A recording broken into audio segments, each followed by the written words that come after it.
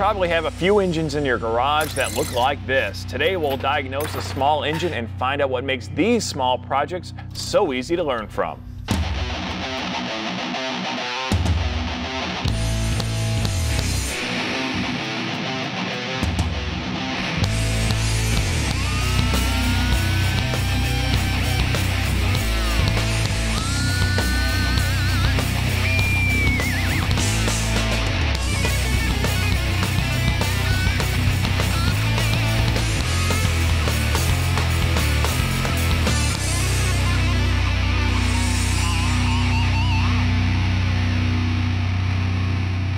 I think I'll grow into this in a few years. That bike is you, man. Hey, welcome to Truck U. I'm Bruno Massel. And I'm Matt Steele. Now, as you guys know at home as well as we do, people neglect their everyday drivers all too often, whether it be a car or a truck. If you do your, some simple maintenance on these vehicles, they can last hundreds of thousands of miles, but that's usually not the case. You know, the same holds true for all the toys that we've got in the world today, too. I mean, you think about it. Just looking around here, we've got this state of the art 1976 open wheel racer, little tiny motorcycles, four wheelers, dune buggies, snowmobiles, boats. The list goes on and on and on. And they're a lot of fun, but you've got to take care of them or you can have the same problems. And oftentimes we neglect those even more because we're not using them every day. Yeah, the, the, what happens is when you don't maintain the time you go to play with them, they seize up and you have a problem. With the case in point here is from that custom cart, we got ourselves a custom 1970s looking motor, and the owner proudly told us he doesn't ever remember putting oil in it. So we seem to uh, have a bit of a problem. We tried to do a visual inspection. And visually, that's bad. so what we're going to do is start to pull this engine apart and find out what went wrong inside and show you guys what happens when you don't take care of your small engines.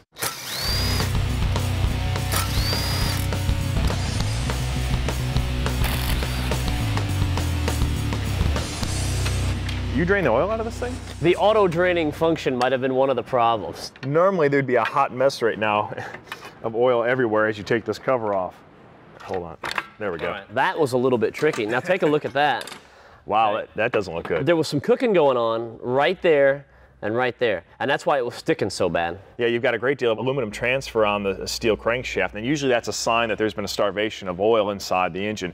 This is not good. I mean, you want everything to turn nice and free, you want it to be well lubricated, this is just the opposite of that. Now, actually, there are two oil fills right there. Apparently, he didn't find either one of those, and down in here is the oil sling. And you take a look. Now, that's the oil level that it was at, which is why we have all these problems. But look, so that oil sling, it spins around on the crank and throws the oil all over the place. Well, if there's no the sling isn't getting any oil, it's not slinging any oil, and there's the problem. Now, another thing you'll see with an aluminum motor like this, either a big one or a little one, it could be in your street car, the same type of scenario happens is when it's starved of oil on an aluminum engine, you have a lot more problems because of the distortion that goes on inside of it. Right. Heat is the enemy with these small engines or an aluminum engine in your street car, so it's even more critical to keep it lubricated properly. Proper lubricating it will keep the bore circular, it won't let it get egg-shaped. In this scenario here, you've got a situation where you can possibly stick the rings or stick the piston. This one's scored up so bad that it's really unsalvageable, and especially when you talk about aluminum engine. At this point, once it gets scored, once it gets damaged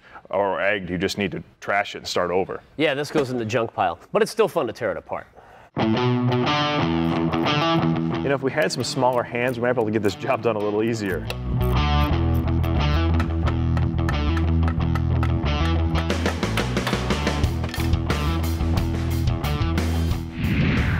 Clear.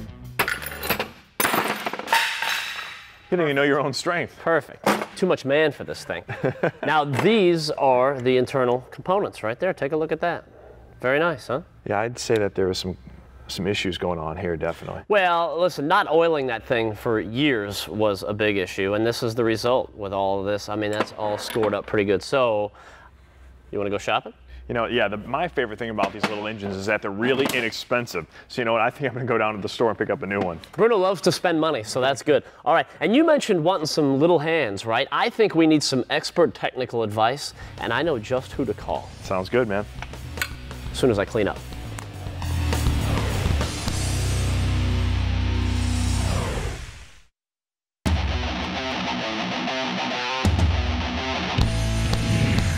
As you can see, we got a lot going on here. We do have a lot going on in here, don't we, guys? Hey, welcome back to Truck U. Today we've got the kids in here, and I'll tell you, it's kind of nice to actually have some dependable help in the shop. Now, this is my son Colton, and this is his buddy Casey. And as you can see, today we're working on this little buggy, and this is awesome. Colton, what are you doing down there, man? Fixing a tire. Fixing the tire. All right, you're doing, can you get it? Look at that. Nicely done. Slide it right on there, boy. Perfect, perfect. Now throw that washer on and tighten that baby down. Now this is the shark buggy from the guys at Hammerhead. And these are awesome little rides. We actually got one for Colton when he was about three years old, which might have been a tad aggressive. You all right there? Don't, don't fall. so, but the bottom line is he's become a phenomenal driver and he's learned a lot about these things. And what's cool with Colton and Casey working on this, they can learn so much about it. Casey, what's going on with you, man? Um, I'm fixing the wheel. You got the steering wheel? Steering wheel. Where, you got it all on there, don't you? These kids are getting ahead of me. This is awesome because there are a lot of similarities between this and a full-size street vehicle, and it's so much fun to get the kids in here working with us because think of the things that they're learning, all the similarities about the steering, which is perfect. So now he knows about that, the suspension. I mean, there's everything from the pedals to throttle linkage, just to learning to drive and everything. And the biggest lesson of today, the importance of keeping oil in the engine, right? We learned a lot about that. So this is cool. Now, when you order one of these things from the Hammerhead company, they ship to you pretty much like this. Really, all you have to do is tighten a few things, put the steering wheel on, and then the roll cage is next. You good? Colton, you got it tight? Yeah? Man, that's on there pretty good. All right, steering wheel pretty good. We'll button that up. And the next thing, you know what, guys? Can you help me with the roll cages? Yes. Cool. All right, well, help me get this thing. It's kind of heavy. Can you guys put it on? Yes. I'll get this side, you get that side.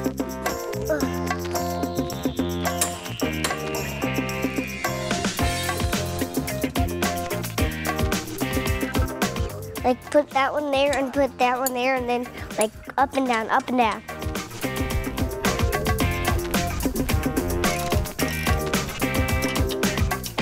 I'm done. Roll cage is in place. Why don't you guys sit down in there? Let's get a look at how you guys are to look riding this thing. Oh, yes. This looks awesome. All right, guys. We'll tighten everything up. Then we can take you guys outside, huh? You can start having some fun? Cool. All right. Here's this week's Spark Plug tip, brought to you by Champion Spark Plug. Every engine needs quality spark plugs to help ensure maximum power, performance, and reliability. Even the engines that power your weekend activities, including your jet ski, boat, or ATV. When picking new plugs for these engines, there are two key considerations, the spark plug's resistor design and the anti-fouling characteristics. Take for example this Champion Marine spark plug from Federal Mogul. This plug features a Q-type resistor design that eliminates interference with the engine and other electronic controls on the boat, such as a radio, GPS, and fish finder. This Champion Power Sport plug also minimizes the potential risk of plug failure and fouling with increased bore clearance between the shell and core nose. Pick up the plugs that will keep you running for any adventure.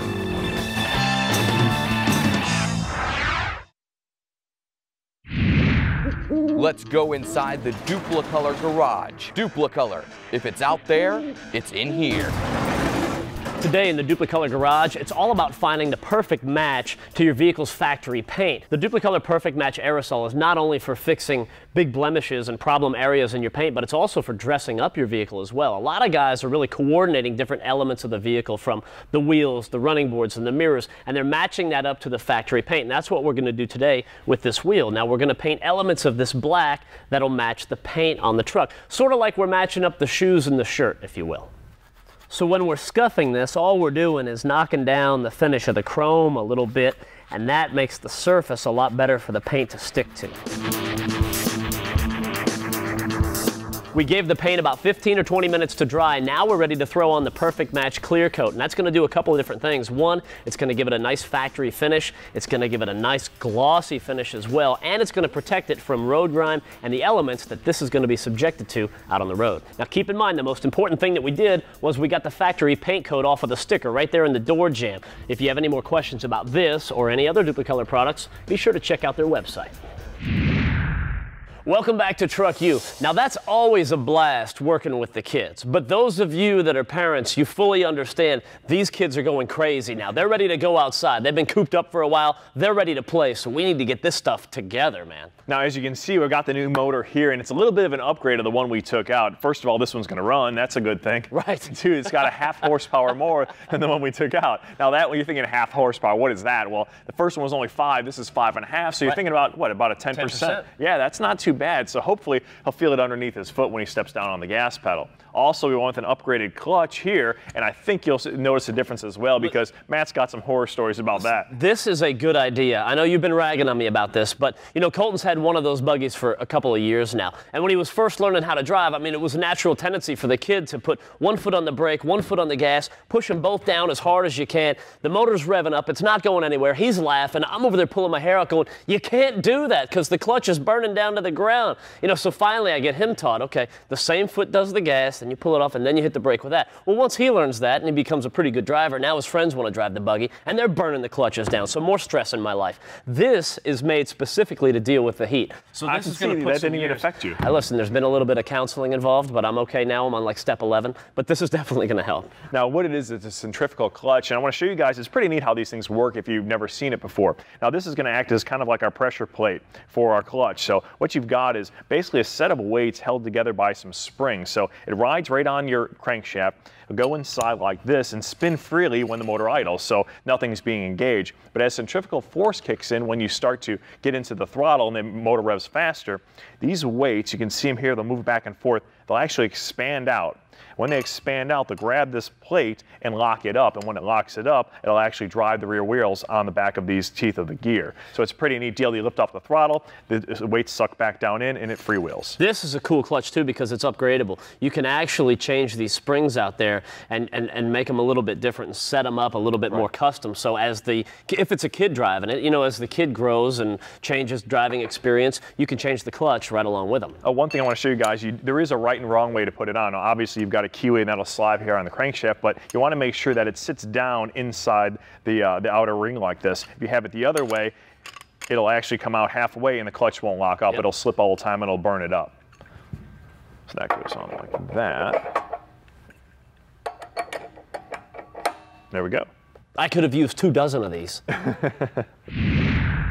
Hey Matt, I forgot to tell you, my favorite feature of this engine is the fact that it comes with an oil alert. so it's almost idiot proof. You know, this way if you can't find the, the fill on either side of the engine, Yeah. he's gonna be covered. You know, we ought to give him some detailed step-by-step instructions too, maybe. But of course, you know, I say this, and that guy's keeping us in business. So how bad is that? Right, right. Yeah, I don't want to make too much fun of him. Yeah, the detailed instructions, fill with oil, Regu- check regularly. All right.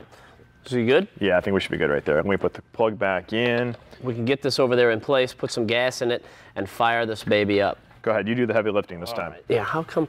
I feel like I'm always doing that. Let's get this, That's funny. get that in there. Now we can wrap that chain around on the clutch, Go ahead. right? Yep. And we'll just use that old motor mount. Holes are there, and we're good.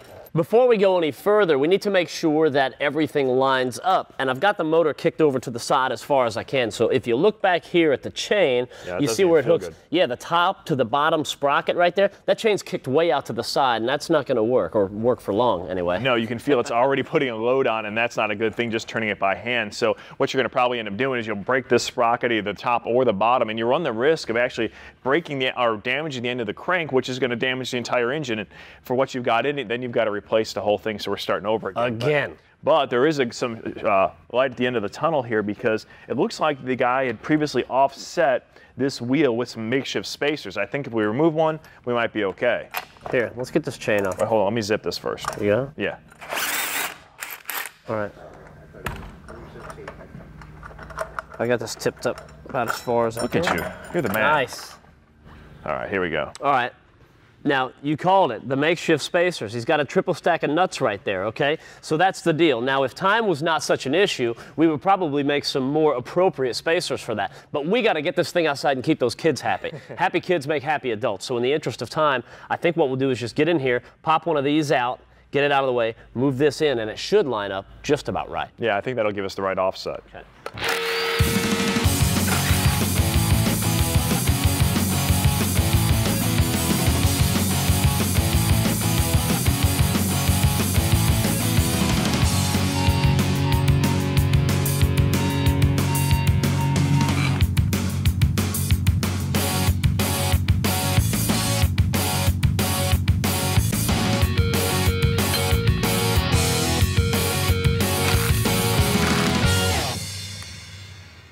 Now that Matt went ahead and changed our offset, I think we're gonna be all right.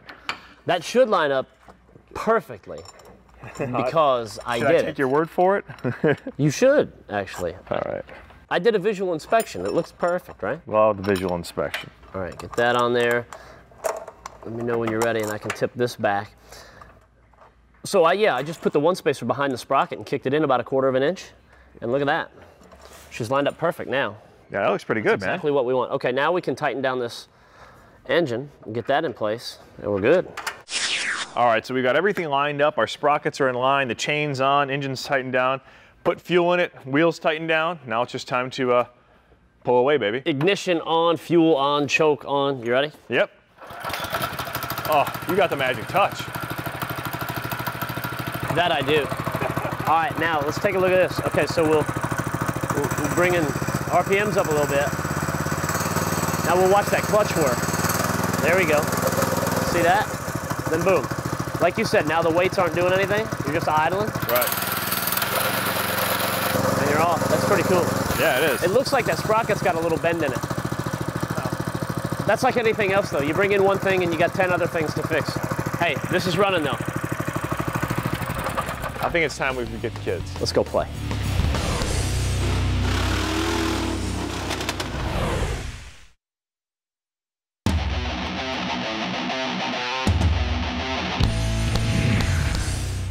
Welcome back to Truck U. Now we know a lot of you guys are running big diesel trucks, and one of the issues you can have with them is an injector failure. And and heaven forbid you got to replace them Yeah, it's gonna cost you thousands of dollars. easily. Well, this is Hot Shot's secret, and this is the only product on the market that is actually specifically designed for those injector problems. Now, when you talk about like a power stroke diesel, a lot of people don't understand that those injectors inside of are hydraulically driven. They've got motor oil actually forcing the piston inside the injector up and down. There's a lot of pressure there. The problem is, is you can put in a fuel additive thinking that's going to solve your problem. Well, it doesn't work because inside of there, what happens is that oil cokes up, or you get stiction, is what it's called. When that injector freezes up inside of it, the spring or piston won't move. It won't allow you to get adequate fuel flow out of that injector. The result is you're going to have hard starts. You're going to have a loss of power. The motor will run imbalanced. You pour this in, and it'll free up that stiction and let the injector flow freely again. Now, here's the best part. Nine times out of 10,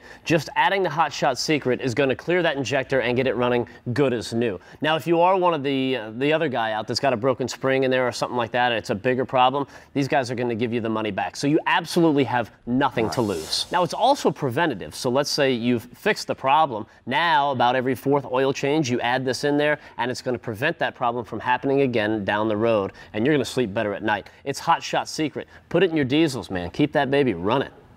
I'll tell you what, these little things have really grown on me over the last couple of years. They look great. It's the Eurotail lens kits from LMC Truck, and it's a direct replacement for your stock lenses in your vehicle. You put it in, nice clear lens covers right there, clear bulbs. They look awesome, and they're street legal in all 50 states, which is nice. Yeah, it is. You know, as you'd expect from LMC Truck, they've got a full line of Euro lens kits for your Chevy, your Dodge, your GMC, and Ford trucks. And if you haven't got one already, you need to check out their catalogs. They come free. They've got great pictures, expanded diagrams, and descriptions to make sure you get the parts you need for your truck. Whether it's dating back to 1947 or 2008, LMC Truck has got the parts you need.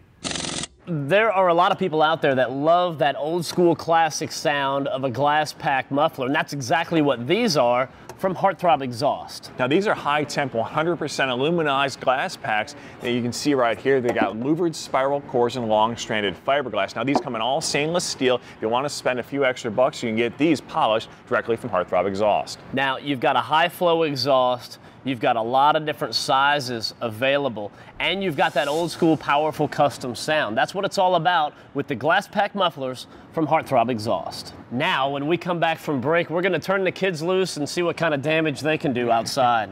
Wish us luck. That'll be fun. For more information about anything you've seen on today's show, check out speedtv.com or visit our website at truckutv.com.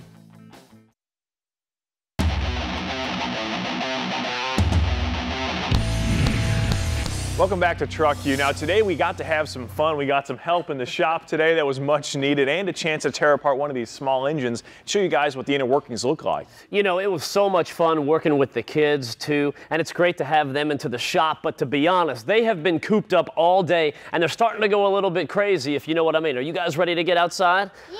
I know I'm ready too, because you know how it is. Crazy kids make crazy adults. All right, guys, let's get you dressed, let's get the toys outside, and let's get crazy, all right? As far as I'm concerned, just another day at the shop. That's right. Crazy in a safe way.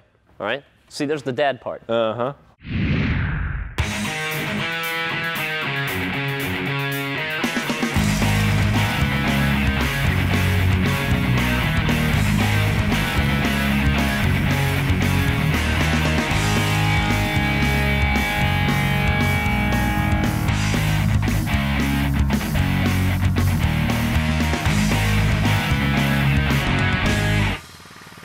Honest with you, it's been a long time since I've been on a buggy like this. This thing was moving, man. I told you that extra half horsepower is going to make all the difference. You didn't listen to me. I know, I Believe the B-Man next time. I think that's exactly what it was. I think we get a little nitrous kit for this one. They have these little sneaky Pete bottles. It's, it's about this big, about this big around, and add another 150 shot of uh, nitrous this thing, it'll really make it. Dude, I, it sounds good to me. I'm up for pretty much anything. Fun day working on these little motors, though, no doubt. Yeah, absolutely. You know, it was fun having the kids out here today. You know, I, it's all about the payoff sometimes, Right. you know? To have them come in there, I, I saw them grab the roll cage, yank it out of your hands, Yeah. and showed you what to do Oh, with it man. perfect, man. And now they look at them, they get to have some fun and enjoy this stuff. So that's what it's all about. Yeah, man. they've been pent up all day. They've been screaming for this. It's cool. The kids are out here. And it is. It's so much fun working with them. And like we said, there's a lot of things they can learn at this stage in the game that'll stay with them for the rest of their lives and really kind of help them know, even if they just know minimal things, it's such an improvement over knowing nothing at all. Well, I think an important lesson is that the stuff that we do with these little motors carries over to our big motors. Right. Just like you've got to maintain them, you've got to maintain these, and same thing goes for your, your you know, you've got generators, your little generators, and power washers, and all that stuff.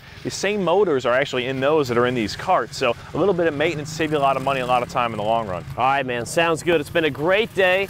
It's really hot out here, so we're going to go inside and cool off. The kids aren't going to be happy about that, but they're going to have to deal with it. That's all the time we have. We'll see you next time right here on Truck U. See ya.